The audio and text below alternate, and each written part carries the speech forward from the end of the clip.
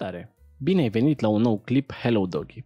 În videoul de astăzi vom vorbi despre câinii corgi ai reginei Elisabeta a II.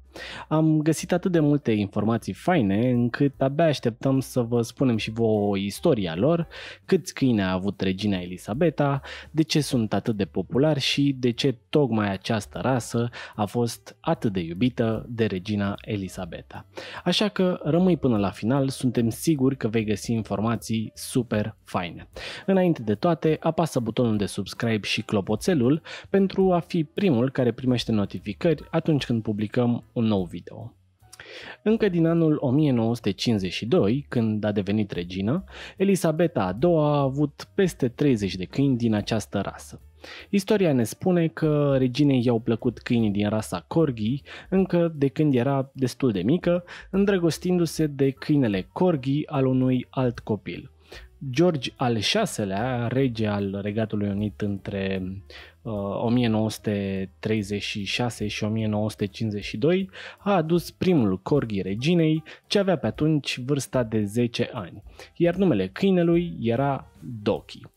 La începutul celui de-al doilea război mondial, Doki a decedat, însă i-a luat locul un alt câine important din copilăria reginei Elisabeta a II, Crackers, câinele mamei ei ce a trăit 14 ani între anii 1939 și 1953.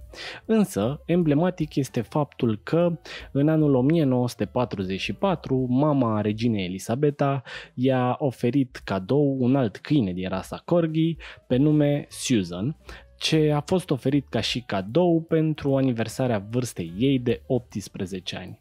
Susan și Regina au devenit atât de atașați unul de celălalt, încât câinele pare că a însoțit-o pe Regină chiar și în luna ei de miere din 1947. De asemenea, Susan a dat naștere altor câini ce au devenit ai reginei. Asta pentru că Susan pare că a fost, dacă vreți, principalul câine de reproducere a familiei regale. Am putea să vă enumerăm succesorii născuți de Susan, însă nu am vrea să vă plictisim și să omitem alte aspecte super interesante. Ce ar fi de reținut aici ar fi că regina însă și-a supravegheat programul de reproducere a câinilor, Susan fiind strămoșul tuturor câinilor din familia regală, lăsând în urmă o moștenire genetică incredibilă.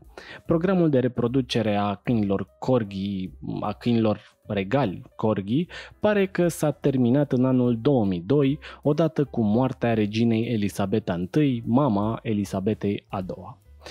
Câinii corgi au dus o viață privilegiată la Palatul Buckingham.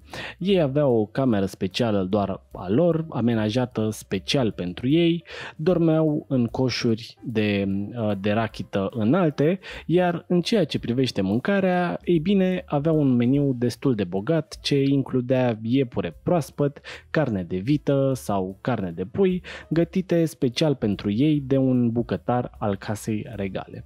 De Crăciun de exemplu, regina avea obiceiul să-i răsfețe cu fel și fel de delicatese, biscuiței pentru câini și să le ofere cadou numeroase jucării.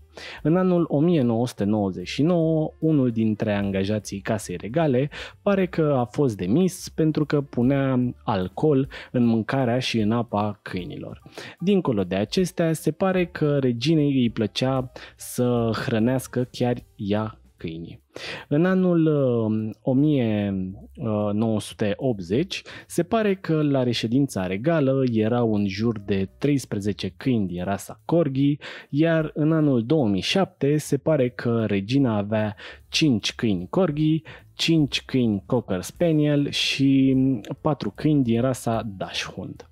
În anul 2012, doi dintre câinii corgi ai reginei au apărut chiar și într-un sketch cu James Bond. Dincolo de toate acestea, se pare că au fost raportate și incidente în care oameni din staful reginei au fost răniți de câini, unul dintre câini chiar mușcând un polițist în Londra, iar un altul a mușcat poștașul. În anul 1989 se pare că familia regală chiar a angajat un dresor pentru a îmblânzi câinii pentru a nu mai mușca membrii familiei regale sau personalul acestora. În anul 2018, ultimul câine din linia genetică a lui Susan a decedat, iar atunci regina Elisabeta a II a spus că nu va mai vrea niciun alt câine din frica de a nu-i lăsa în urmă după ce aceasta va muri. Cu toate acestea, regina și-a păstrat dragostea pentru această rasă și după acest episod. În februarie 2021 și s-au dat cadou doi pui de corgi, unul pe nume Fergus, iar un altul pe nume Muic. Trei luni mai târziu, Fergus a decedat, dar prințul Andrew și familia sa i-au oferit cadou reginei un alt puiuț de corgi pe nume Sandy, pe lângă câinele corgi pe care l-avea deja, ce purta numele de Candy. În 2022 se pare că mai erau patru câini alături de regina Elisabeta. Ca să nu ne lungim prea tare, în timpul domniei sale, regina s-a folosit de dragostea pentru câini pentru a face monarhia ceva mai prietenoasă. Câinii corgi ai familiei regale sunt cunoscuți peste tot în lume și sunt adesea asociați cu regina Elisabeta a II. Câinii familiei regale au chiar și numeroase lucruri dedicate lor, de la statui până la picturi și chiar opere de artă. Au chiar și un desen animat lansat în anul 2019 și care se numește The Queen's Corgi. Cam asta a fost. Sperăm că ți-au fost de folos informațiile din acest video și îți recomandăm și aceste două videouri. Top 10 rase de câini perfecte pentru apartament și 5 greșeli pe care posesorii de câini le fac.